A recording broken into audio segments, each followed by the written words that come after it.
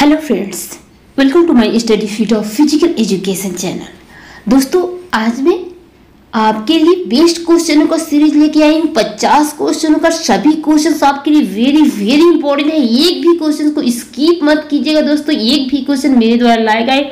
व्यर्थ नहीं होता।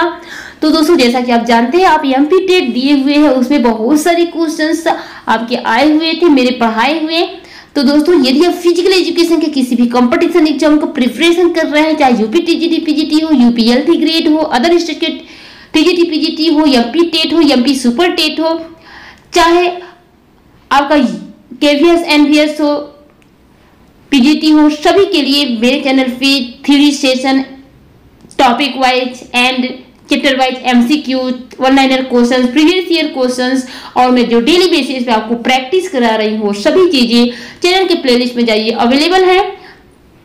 एंड दोस्तों प्रैक्टिस करते रहिए, क्योंकि जब परीक्षा का दिन नज़दीक आता है तो आप सभी या हम सभी बहुत ही अपनी रफ्तार तेज कर देते हैं। और उस तेज रफ्तार में होता क्या है कि आप जो भी पढ़ते हैं, वो सभी कन्फ्यूज़न में हो जाता है। आपको लगता है कि मैंने सब पढ़ लिया एग्ज़ाम हॉल में आपको लगता है कि मैंने तो सभी क्वेश्चंस पढ़ा हुआ है, फिर मुझे कंफ्यूज कंफ्यूजन क्यों हो रहा है? मैं सही आंसर नहीं दे पा रही हूँ। उसका एक ही कारण है, उसका क्लियरेंस नहीं होता है। आपके माइंड में क्लियर नहीं होता। है आपने तो पढ़ा सब कुछ होता है बट क्लियर नहीं होता है, जिसके चलते वहाँ पे आती हुई भी क्वेश्चन का आंसर हम सही नहीं दे पाते हैं। वही आपको प्रैक्टिस की कमी होती है। तो वो कब होगा? आराम से। पहले से ही आप प्रिपेयर्ड रहेंगे।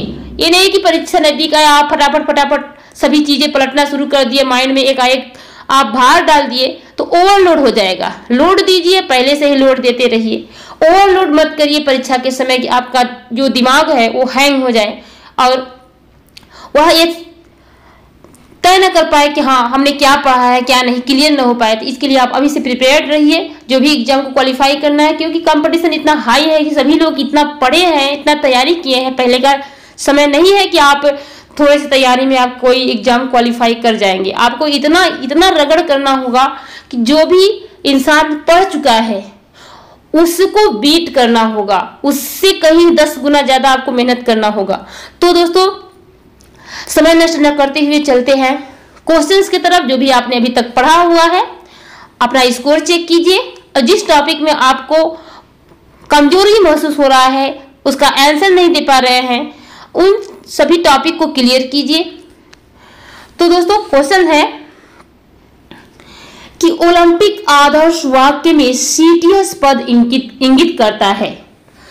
तो जैसा कि आप जानते हैं ओलंपिक आदर्श जो है आदर्श वाक्य यानी मोटो, इसकी रचना किया था हेनरी डिरॉन ने 1881 में। और ओलंपिक मोटो 1924 पेरिस, फ्रांस में आधिकारिक रूप से इसको मान्यता मिली। ओलंपिक मोटो है सीटियस आल्टियस फोर्टियस और एक चौथा जुड़ गया है इसके अंदर टुगेदर कम्युनेटर क्या है? सीटियस आल्टियस फोर्टियस कम्युनेटर जिसका, जिसको हम कहते हैं फास्टर हायर स्ट्रांगर टुगेदर यानी और तेज, और ऊँचा, और बलशाली। एक साथ। यानी सीटीएस का अर्थ हुआ सीटीएस को हम कहते हैं फास्टर यानी और तेज, यानी अधिक तेज दौड़ना। आरटीएस का अर्थ होता है हायर यानी कि और ऊँचा, यानी अधिक ऊँचा कूदना। फोर्टियस का अर्थ होता है स्ट्रॉन्गर यानी और बलशाली, यानी अधिक मज़बूत होना। एंड कम्युनेटर का अर्थ होता है टुगेदर यानी एक साथ, यानी एक साथ चलना। तो इस प्रकार हुआ सीटीएस आरटीएस फोर्टियस यानी फास्टर हायर स्ट्रांगर कम्युनेटर यानी टुगेदर एंड इसका अर्थ होगा और तेज, और ऊँचा, और बलशाली, एक साथ चलना। तो यहाँ पे क्या पूछा है? सीटीएस सीटीएस के क्या मतलब हो जाएगा? सीटीएस को हम कहेंगे फास्टर यानी और तेज ठीक है? सबसे तेज, यहाँ पे राइट हो जाएगा ख। क्या हो जाएगा? ख का राइट होगा।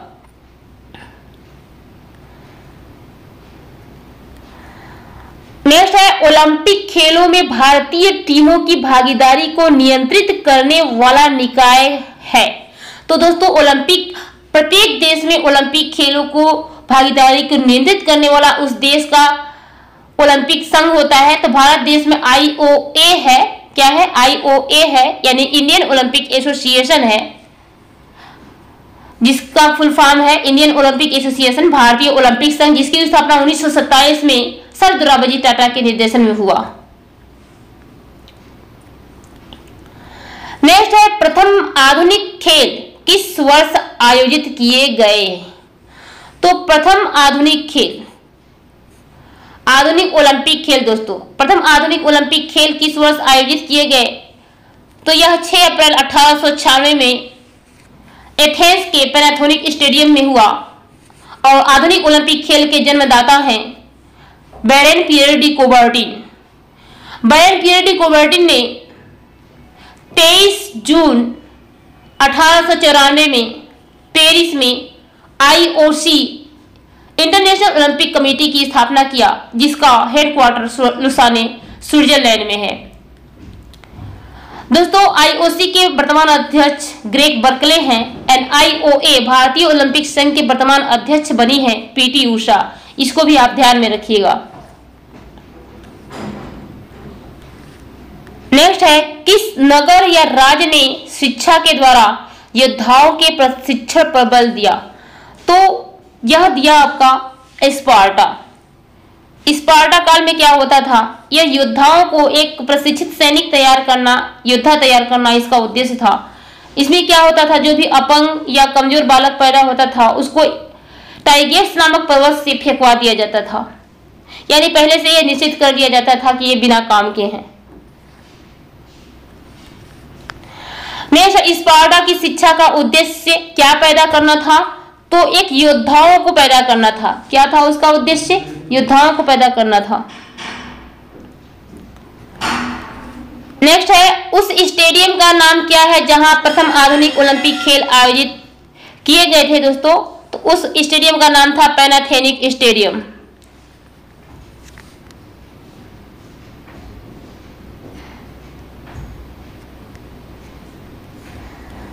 नेक्स्ट क्वेश्चन है, पेशी तंतु, यानी जो मसल्स फाइबर है, एक पतली झिल्ली से आच्छादित होता है, जिसका नाम है तो जो पेशी तंतु है, जिस झिल्ली से आच्छादित होता है, घिरा रहता है, उसे हम कहते हैं सार्कोलेमा और कोशिका जिस झिल्ली से घिरा होता है, उसे क्या कहते हैं प्लाज्मा लीमा या कोशिका झिल्ली सेल्स मेम्ब्रेन बोला जाता है। एंड पेशी तंतु जिस झिल्ली से आच्छादित होती है, उसको सार्कोलेमा बोला जाता है। नेक्स्ट है, शक्ति में वृद्धि किसके सशक्तिकरण से होता है? तब वो होता है शार्कोलेमा के। नेक्स्ट है, किसी पेशी के आकार में वृद्धि किसमें वृद्धि का परिणाम है? तो दोस्तों, जैसा कि आप जानते हैं जो स्केलेटल मसल्स होती है, कंकाली पेशियाँ होती हैं, उसके, उसमें एक्टिन और मायोसिन फिलामेंट्स होता है। दो जेड लाइनें होती हैं। क्या होती हैं? ये आपका जेड लाइन हो गया, ठीक है? इसके बीच में आपका मायोसिन हो गया। क्या है? मायोसिन। फिर यहाँ पे एक्टिन हो गया, ठीक है? एक्टिन हो गया। ठीक? ये आपका बीच वाला, बीच में एक लाइन हो गया। जब ये जेड लाइन जो होता है, इन दोनों जेड लाइन के बीच के भाग को हम कहते हैं, जहाँ पे एक्टिन और मायोसिन होता है, उसको कहते हैं सार्कोमियर। सार्कोमियर पेशी तंतु की संकुचनशील इकाई होता है जब पेशी कॉन्ट्रैक्ट होती है तो एक्टिन जो है जो ये, ये बीच वाला लाइन होता है एक्टिन में मोशन होता है गति होता है जबकि मायोसिन अपने जगह पर होता है तो जो एक्टिन क्षण है वो मायोसिन क्षण पर खिसकता है तो हमारा मसल जो है वो कॉन्ट्रैक्ट होता है और दोनों जेड लाइन जो है वो पास आ जाती हैं दोनों जेड लाइन स्प्रिंग आप देखे होंगे स्प्रिंग जो आप खींचते हैं तो दूर दूर होता है उसकी जो भी जो भी शाखाएँ हैं रोल है जब उसको आप छोड़ देते हैं कॉन्ट्रैक्ट होता है तो सभी पास आ जाती हैं। उसी प्रकार मसल्स भी कॉन्ट्रैक्ट होता है। दोनों जेड लाइनें पास हो जाती है जब कॉन्ट्रैक्ट होता है तो। दो, दोनों जेड लाइनें पास हो जाती हैं। तो जब एक्टिन और मायोसिन में वृद्धि होगा आ, तो ज़ाहिर सी बात है जेड लाइनों में भी वृद्धि होगा सर्कोमियर में वृद्धि होगा तो यहाँ भी क्या पूछा है कि किसी पेशी के आकार में वृद्धि किसमें वृद्धि का परिणाम होता है? तो ये होता है आपका सर्कोमियर में, ठीक है? नेक्स्ट, कौन सी रक्त कणिकाएँ बैक्टीरियल स्क्वेंजर्स यानी कि जीवाणु अपमार्जक कही जाती हैं? तो दोस्तों बैक्टीरिया से रक्षा करता है बैक्टीरियल इंफेक्शन से श्वेत रक्त कणिका, यानी डब्ल्यू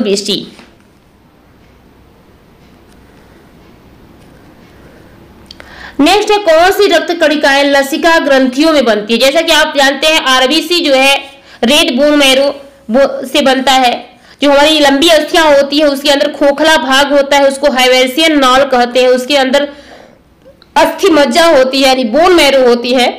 रेड बोन मैरो से लाल रक्त कणिकाओं का वाइबिया यानी येलो बोन मैरो से श्वेत रक्त कणिकाओं का श्वेत रक्त कणिकाओं का निर्माण येलो बोन मैरो और लसिका ग्रंथियों से होता है। तो यहाँ पे क्वेश्चन क्या पूछा है कि कौन सी रक्त कणिकाएँ लसिका ग्रंथियों से बनती है? तो white muscle fibre white blood cells यहाँ पे श्वेत रक्त कणिकाएँ राइट हो जाएगा।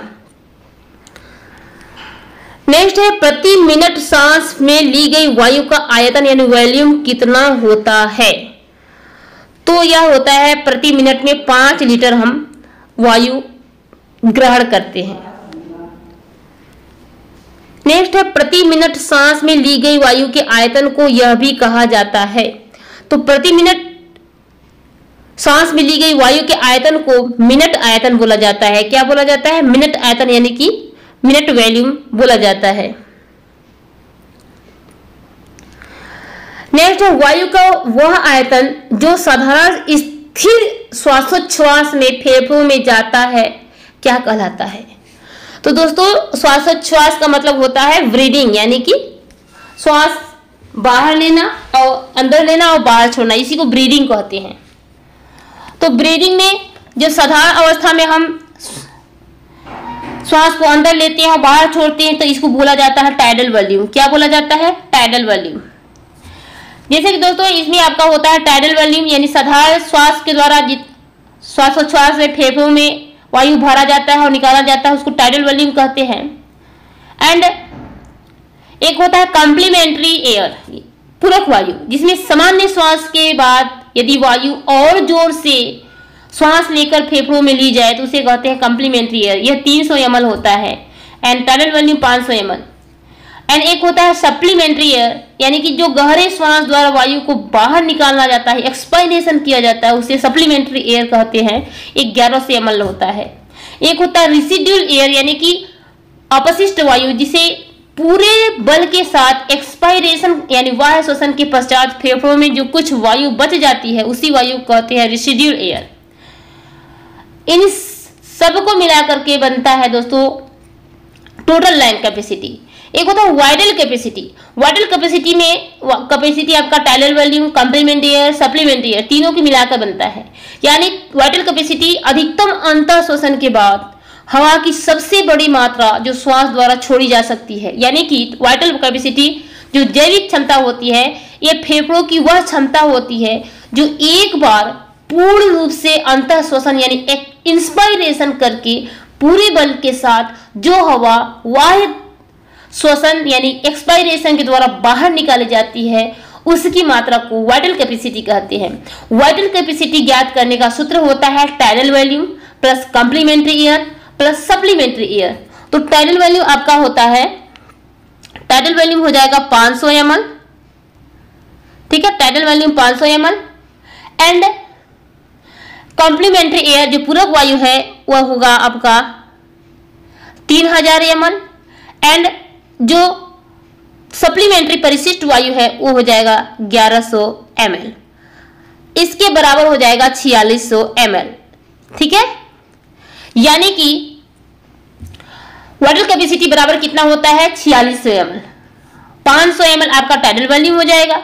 300 3000 एम आपका कॉम्प्लीमेंट्री ईयर हो जाएगा और सप्लीमेंट्री ईयर 1100 सौ एम कुल क्या हो जाएगा? 4600 सौ ठीक है? कुल कितना हो जाएगा? छियालीस सौ इसको ध्यान में रखिएगा। छियालीस सौ ठीक है? अगर इस तरीके से पूछेगा कि कितना लीटर होगा तो 4.6 लीटर ऐसे हो जाएगा। एम में पूछेगा तो छियालीस इस प्रकार छियालीस सौ आपका वाइडल वाइडल कैपेसिटी हुआ। जब पूछेगा total lung capacity total lung यानी फेफड़े की कुल क्षमता टोटल लंग कैपेसिटी फेफड़ों की कुल क्षमता क्या होता है कि वह वायु की वह क्षमता जो वह, वायु की वह कुल मात्रा जो फेफड़ों में समा सकती है। तो टोटल लैंड कैपेसिटी ज्ञात करने का सूत्र होगा water capacity plus residual air water capacity छियालीस एम हो गया। रिसिडियल ईयर जो आपका शोषण के बाद जो फेफड़ों में कुछ वायु बच जाती है, उसी को रिसिडियल ईयर या अवशिष्ट अवशिष्ट वायु कहते हैं। तो टोटल लाइन कैपेसिटी ज्ञात करने का सूत्र होता है water capacity plus residual air residual air बारह सौ एम होता है। तो वाटर कैपेसिटी आपका कितना आया है? वाटर कैपेसिटी आपका आया है छियालीस सौ एम कितना आया है? छियालीस एम प्लस हम बारह सौ एम जोड़ देंगे। कितना आ जाएगा? अंठावन सौ ठीक है? अंठावन सौ एम इसको हम लीटर में बोलेंगे तो फाइव पॉइंट एट लीटर ठीक है? फाइव पॉइंट एट लीटर तो वाटर कैपेसिटी छियालीस सौ M total lung capacity five point eight litre आपका राइट हो जाएगा।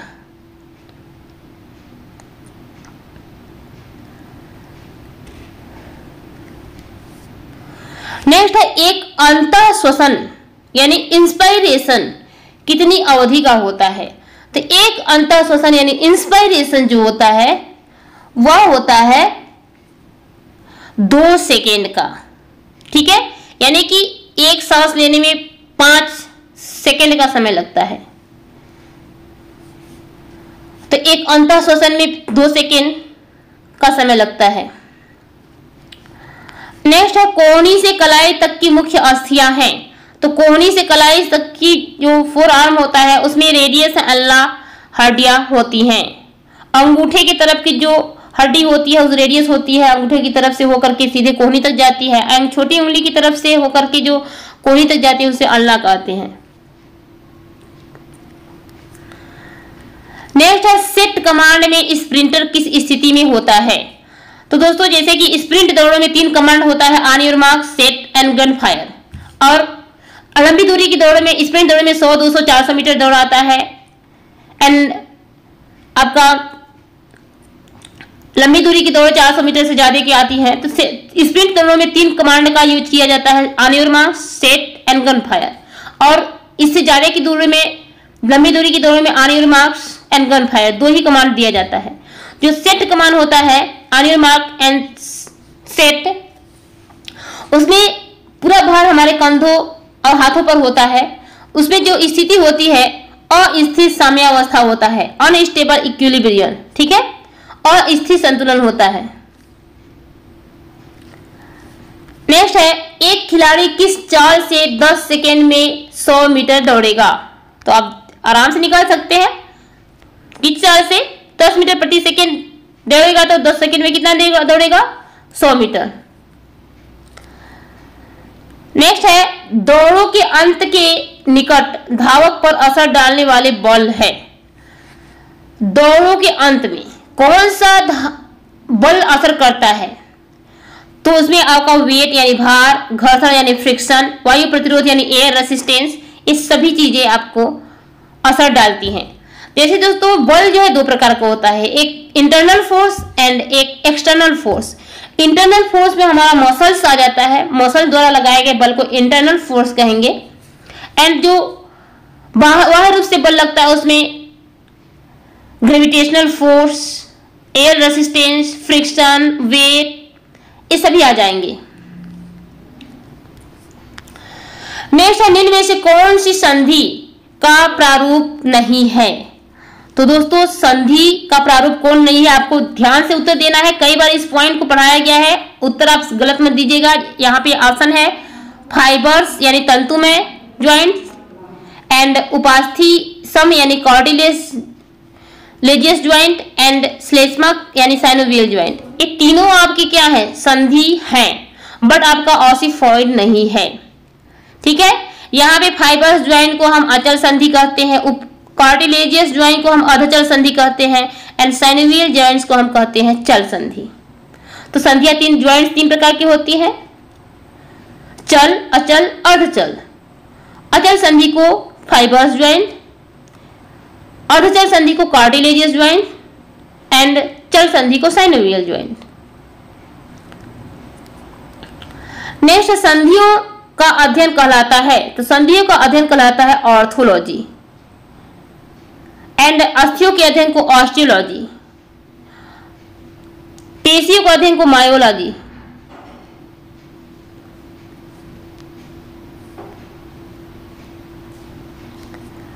नेक्स्ट है स्वच्छंद रूप से चलायमान संधियों का एक अन्य नाम है। स्वच्छंद रूप से चलायमान यानी कि चल संधि की बात कर रहा है।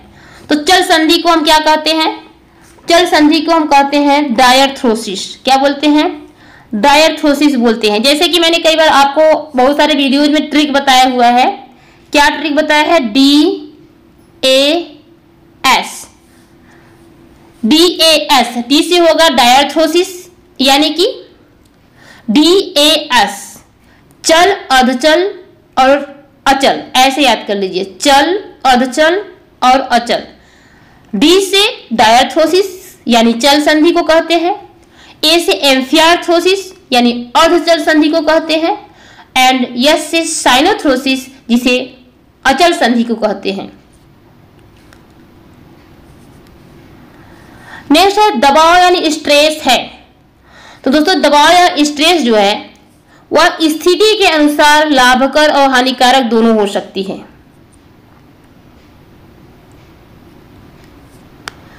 नेक्स्ट है, मास्लो आवश्यकताओं को क्रम परंपरा में निचले स्थान पर रखता है।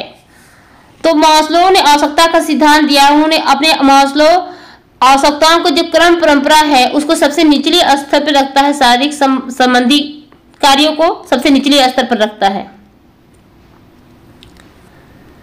नेक्स्ट मास्लो की आवश्यकताओं की क्रमबद्धता के शिखर पर कौन सी आवश्यकता को रखता है? तो शिखर पर आत्म सिद्धि को रखता है। शिखर पर किसको रखता है? आत्म सिद्धि को रखता है सबसे नीचे रखता है शारीरिक संबंधों को। नेक्स्ट है ई आर जी सिद्धांत किसने दिया? ई आर सिद्धांत दिया है एल्डर फर ने नेक्स्ट है, एल्डर एल्डरफॉर का सिद्धांत आवश्यकताओं को तीन श्रेणियों में बांटता है। तो कौन सा सिद्धांत बांटता है? यहाँ पे आपका राइट आंसर दिया है अस्तित्व की आवश्यकताएँ। बट यहाँ पे तीन श्रेणियों में बांटा है तो कौन कौन से तीन श्रेणियों में बांटा है? इसका एग्जैक्ट आंसर यहाँ पे पता नहीं चल रहा है। तो इसको देखना पड़ेगा।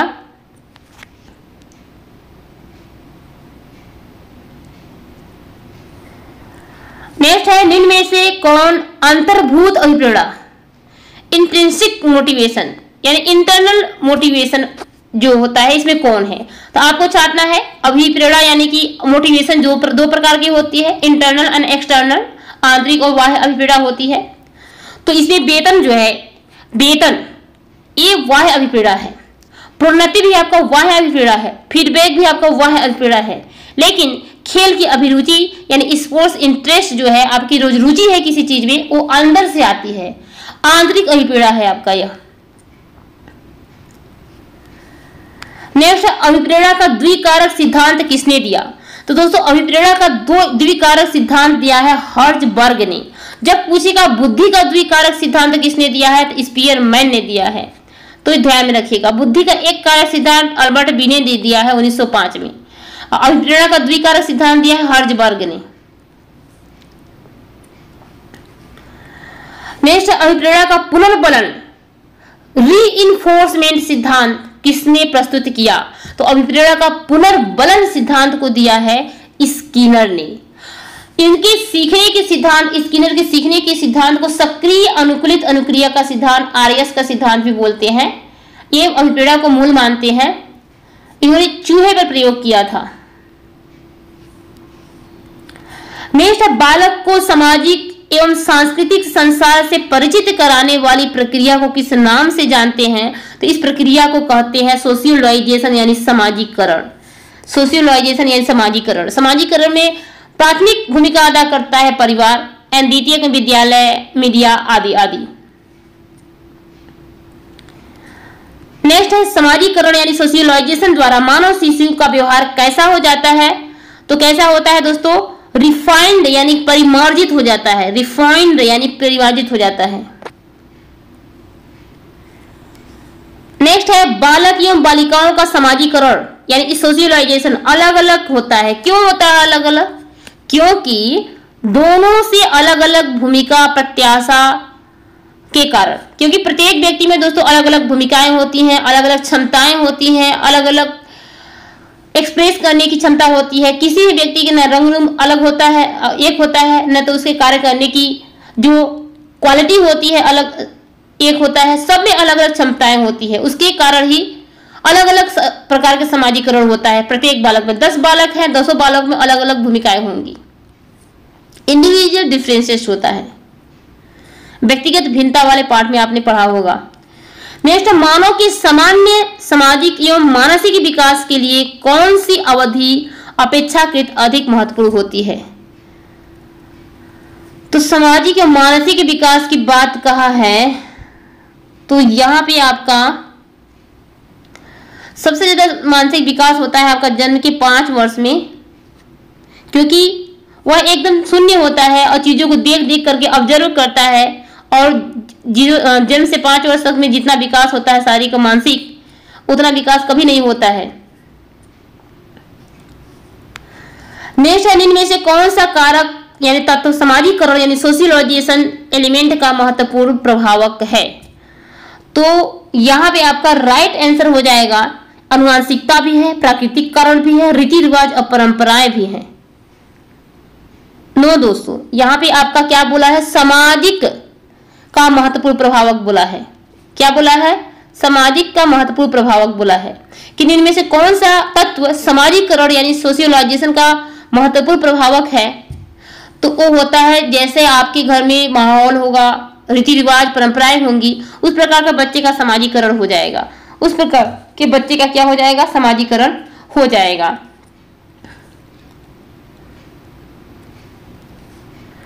नेक्स्ट है, समाजीकरण किस प्रकार के प्रक्रिया को प्रोत्साहित करता है? तो साहस के साथ कार्य करने में, कि स्नेह के साथ कार्य करने में, कि सम्यक यानी उचित रूप से कार्य करने में। तो समाजीकरण होता है, वह सम्यक यानी उचित रूप से कार्य करने में प्रोत्साहित करता है। नेक्स्ट है, समाजीकरण के लिए क्या अति आवश्यक है? तो समाजीकरण के लिए क्या अति आवश्यक है दोस्तों?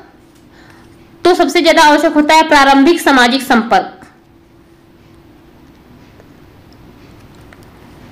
नेक्स्ट है सामाजिकरण यानी सोशियोलॉजिशन निम्न में से कौन किसमें होता है? तो शिशुओं में भी होता है, पुरुषों में भी, महिलाओं में भी, सभी में सामाजिकरण होता है। नेक्स्ट है नॉकआउट पद्धति कितने प्रकार की होती है? तो दोस्तों नॉकआउट टूर्नामेंट जो होता है, वो चार प्रकार की होती है। कितने प्रकार की? चार प्रकार की। कौन कौन सी? सिंगल नॉकआउट एंड दूसरा है सतौना टूर्नामेंट यानी कॉन्सोलेशन टूर्नामेंट तीसरा डबल नॉकआउट और चौथा वेगनान वाइल्ड एलिमिनेशन टूर्नामेंट जिसे मुलर एंडरसन प्लेबैक मेथड भी बोला जाता है। टूर्नामेंट के बारे में आपको एकदम फैक्ट जानकारी बहुत ही कम समय में जानना है। तो knockout tournament league tournament combination tournament challenge tournament चारों के बारे में मैंने डिटेल में बताया हुआ है, वो भी कम समय में आपको सभी जानकारी दिया गया है, उस वीडियो को आप देख सकते हैं। नेक्स्ट है निम्न में से कौन सा नॉकआउट पद्धति का प्रकरण नहीं है?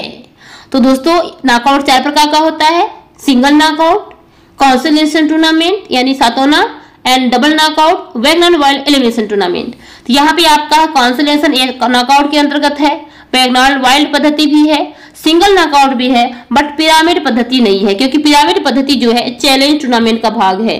चैलेंज टूर्नामेंट दो प्रकार का होता है लेडर टाइप यानी सीढ़ी प्रकार का, दूसरा पिरामिड टाइप पिरामिड टाइप भी दो प्रकार का होता है किंग्स टूर्नामेंट और काव वेव टूर्नामेंट जिसे स्पाइडर वेव विधि भी कहते हैं। नेक्स्ट है सर्वांगीण संबंध। निम्न में से किस समूह वर्ग की विशेषता है? तो सर्वांगीण संबंध जो है, वह प्राथमिक समूह की विशेषता है। जहाँ संबंध की बात आए, वहाँ पे परिवार ही होगा। निम्न में से कौन सा समूह, प्राथमिक समूह यानी प्राइमरी ग्रुप नहीं है? तो परिवार, पड़ोस, क्रीड़ा समूह, ये सभी प्राथमिक समूह है। यानी कि उपरोक्त सभी आपका राइट हो जाएगा। नेक्स्ट है क्रीड़ा समूह स्पोर्ट्स ग्रुप समूहों के निम्न में से किस वर्ग में आता है? तो क्रीड़ा समूह जो है, आपका प्राथमिक समूह में आता है। किसमें समूह में आता है? प्राथमिक समूह में आता है। तो सोशियोलॉजी सामाजिकरण के प्राथमिक समूह में परिवार, क्रीड़ा समूह, पड़ोस आ जाता है, एंड द्वितीय समूह में विद्यालय, मीडिया आदि आते हैं। नेक्स्ट है, कॉन्सोलेशन प्रतियोगिता कितने प्रकार की होती है? तो यानी दोस्तों कॉन्सोलेशन यानी कि नॉकआउट का भाग है, जो दो प्रकार की होती है, प्रकार वन प्रकार टू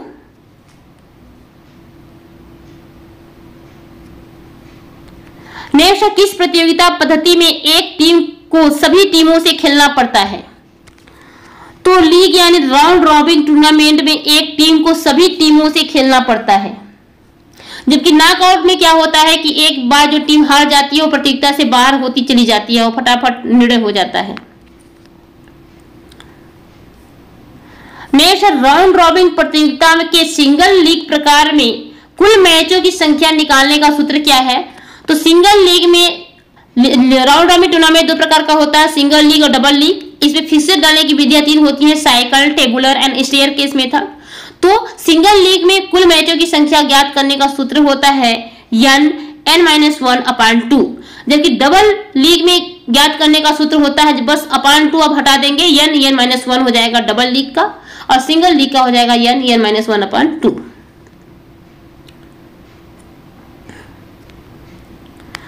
next है तैयारी काल में, यानी फ्रीडाइजेशन में, सहनशीलता, यानी कि इंडोरेंस विकास के साथ साथ प्रदर्शन के कारकों को बनाए रखना होता है। यह कथन किसका है? तो यह कथन है मेट वी एव का।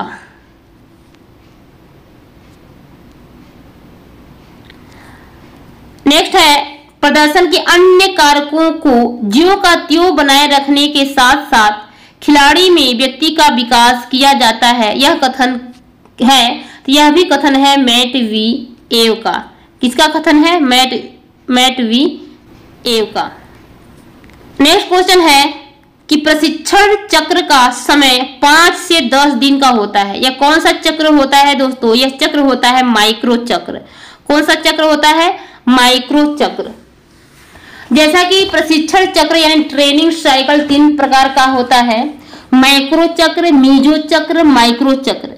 मैक्रो चक्र जो होता है, इसको ट्रेनिंग योजना भी कहते हैं। यह सबसे बड़ा ट्रेनिंग साइकिल होता है। तीन से बारह महीना यानी एक साल तक का होता है। एंड दूसरा चक्र होता है मीजो चक्र, जिसे मासिक ट्रेनिंग चक्र या मासिक चक्र या अवसन चक्र भी बोलते हैं। यह तीन से छह सप्ताह यानी एक से डेढ़ माह का होता है, यानी तीस से पैंतालीस दिन का। एंड तीसरा होता है माइक्रो चक्र, जो तीन से दस दिन यानी एक सप्ताह का होता है, इसलिए इसको साप्ताहिक चक्र योजना भी और सूक्ष्म अवधि चक्र भी बोला जाता है। सबसे छोटा चक्र होता है। नेक्स्ट है माइक्रो चक्र का दूसरा नाम क्या है? तो दोस्तों, माइक्रो चक्र का दूसरा नाम है साप्ताहिक परीक्षण चक्र। दोस्तों, यहाँ पे कुछ दिया हुआ है नोट करके कि प्री मेडिकल के एलियन स्टडी मटेरियल के अनुसार टाइडल वॉल्यूम 500 सौ है, जैसा कि मैंने पहले बता दिया है। एक मिनट में श्वास की दर 12 से 20 बार तो एक मिनट में श्वसन में वायु के आयतन जो है 6 से 10 लीटर होता है। तो दोस्तों, ये था 50 एमसीक्यू क्वेश्चंस जो आपके लिए वेरी वेरी इंपॉर्टेंट थे। सभी क्वेश्चंस आपके लिए वेरी वैल्यूएबल थे। दोस्तों, वीडियो आपको कैसा लगा? किसी क्वेश्चन में डाउट होगा तो मुझे कमेंट में ज़रूर बताइए और ज़्यादा से ज़्यादा वीडियो को शेयर कीजिए दोस्तों। एंड लगे रहिए इसी तरह मेरे चैनल पे डेली बेसिस से प्रैक्टिस कीजिए। तो इसी तरह की वीडियो डेली बेसिस से पाने के लिए चैनल को सब्सक्राइब कर लीजिए बेल आइकन को प्रेस कर लीजिए, जिससे न्यू वीडियो का अपडेट आप तक पहुँचता रहेगा। तो मिलती है नेक्स्ट प्रैक्टिस सेट के साथ। तब तक के लिए जय